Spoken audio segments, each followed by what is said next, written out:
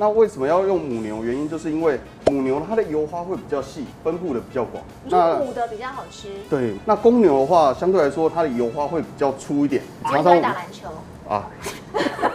好，关键就是母牛比较好吃。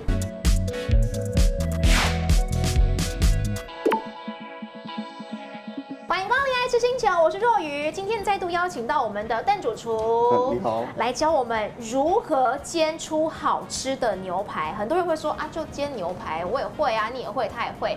可真的要煎的好吃的话，其实有一点难度啦。要练一下，对对对，必须要有一些经验，然后温度的掌控，温度的掌控跟经验。那其实呢，这间店原本都是只有在提供和牛的，但是为了迎接我们的到来，特别选了美牛。为什么呢？因为我们一般在家比较少买和牛来煎，是的，没错。我们现在大部分是以买美牛来煎的观众朋友居多，所以我们特别呢，也是希望我们的主厨可以提供美牛，然后来煎煎看。到底和牛跟美牛它的煎的这个做法、火候的这个掌控跟时间、口感有什么不同？那在我们面前的这一块，哇，这一块就是我们从日本进口的冷藏的 A 五和牛。那我们采用的是熊本牛。熊本牛。对。那为什么要用母牛？原因就是因为母牛它的油花会比较细，分布的比较广。那母的比较好吃。对。那公牛的话，相对来说它的油花会比较粗一点。常常打篮球啊。关键就是母牛比较好吃。对对对，因为油花细的话，吃起来你才不会一咬下去满口油。买回来牛肉，一般我们在外面超市买啊，或是哪里买，哦，它一定是会呈现像这样，嗯，哦，它它会连油都一起卖给你。但是回到家你不要直接这样煎，因为你要看牛肉它本身会有一些筋，像这个透明的部分、黑黑的部分就是它的筋。嗯，那我们会把筋跟油拿掉。和牛其实跟美牛它是一样的，它们的结构都是一样，因为我们采用的都是。热眼的部位，好，所以我们的话分切方式都是一样的，好，这样就完成了第一块，嗯，好，这就是我们所谓的热眼心。那这一块的话，就是人家说的上盖肉了，对，那我们一样会把它的油跟筋取掉。那热眼心跟上盖肉哪个会比较好吃？一般来说的话是上盖肉，上盖肉就是我们常常说的老饕牛排，这样就完成一块。这是和牛的部分。那我们一般在超市买的美牛，对，就是它会给你这样一整块。嗯，那它一样就是有上盖肉。是在家里的话，多切一点起来没关系，因为到时候你们可以炒饭啊，或是炒菜的时候放一点下去，好，都都会很好吃。这一块也要把它切掉。对，因为这一块的话它是筋。哦，哎，筋跟油有的时候长得都好像哦。其实筋就是藏在油里。所以一块牛排要煎得好，首先我们要先做去筋。对，一定要先做去筋，要不然的话，肉的话我们可以吃三分熟，但是吃筋吃三分熟的话，就会像口香糖一样。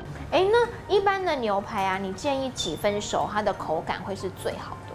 看牛排的部位，如果一般以美牛来说的话，我们会分哦纽约客、热眼、沙朗还有菲力。那菲力的话，因为它本身油脂比较少。非常的少，所以一般的话，菲力都会建议吃三分熟，因为它再熟下去的话，它的那个肉会柴掉。沙朗啊，跟热眼基本上我们都吃五分熟，五分熟的话，它就刚好可以有一点点纳米反应啊，让它可以稍微软一点，它的中间的那个心。那再来的话，就是五分熟吃起来，它本身也会有油脂，好，比较不会那么柴，然后有肉香。对，牛小排的话，它脂肪。比较多，多，然后它中间的筋因为太多了，所以一般都会建议吃到七分熟，好，它的口感会比较好。像肉从冰箱拿出来的话，其实是不可以马上煎的，要回温是不是？对，因为温度的关系，如果你直接煎的话，它等到你煎五分熟，它中心点都还是冰冰的，室温大概放二到三十分钟。哦，这才是会最好吃的。嗯，那我们把它切小块一点，待会你也可以煎。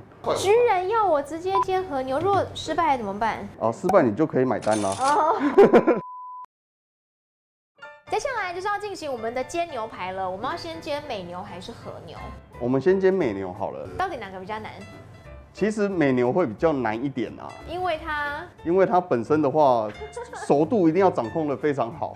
那我们首先要先知道的就是它的热度，热度，不管是锅子还是铁板，很简单，要测试它的温度的话，一样是加水。对，我们加热到一段时间，我们滴一点水下去。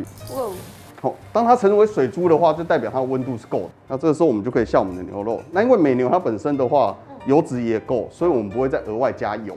哦，直接下去煎就它就会用它自己的油去煎它就可以了。那这个时候就是等，因为我们已经知道铁板的温度啊，或者锅子的温度了。嗯，那我们放一分钟，基本上它不会到焦掉。对。可是另外一个很麻烦的是，你看前面这么多人，你要几分？三分，你要几分？五分，你要几分？七分。好，然后先记大家的那个，对不对？然后呢，就是你要怎么掌握它的那个熟度吗？熟度，对呀。对，一般比较常就是老师傅在说的哦，掌握熟度的话，我们就是用按压的方式。按压。好，那我们一般的话会这样按压牛肉。好，那要怎么去知道它按压的程度软柔软度是几分熟？好，老师傅就会说哦，你这样子。对，还是强调老师傅。哎，对，老师傅。那现在年轻的师傅是什么样？年轻的师傅是插温度计啊。哦。所以一般我们会用温度跟时间来做一个计量啊。对，那是差不多一分钟了。嗯。好，我们就会稍微把它缠起来，因为它基本上温度够，它就不太会粘锅。对。对，它不会粘锅的时候，你就可以翻过来看一下，哎，它就是非常漂亮的焦面。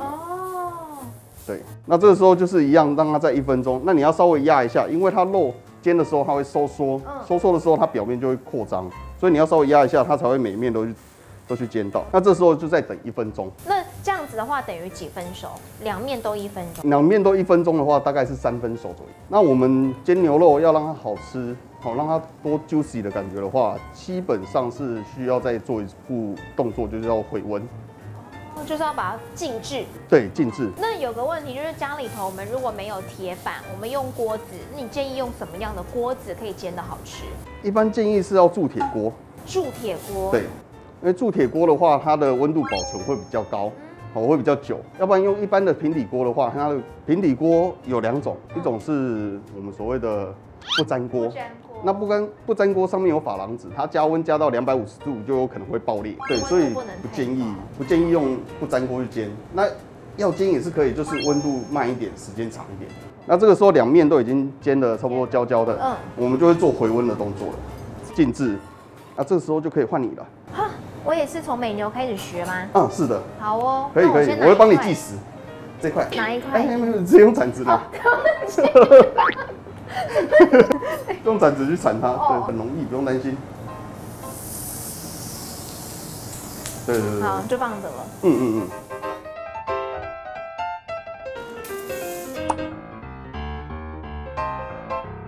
那如果在外面的话，我们铁板这边我们会切。嗯。对，切的时候就可以大概知道了。嗯。大概知道它的是几分熟几分熟，一刀下去就知道了。嗯。好，那切的时候你要记得它的纹路是怎么跑，我们要逆纹。逆纹切，对对对对，好难哦。那逆纹的意思是什么？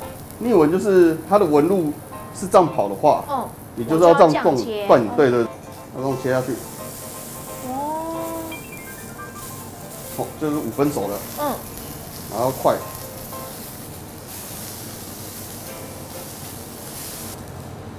哦，那我们的话会加一点盐巴在旁边，让客人可以搭配着用。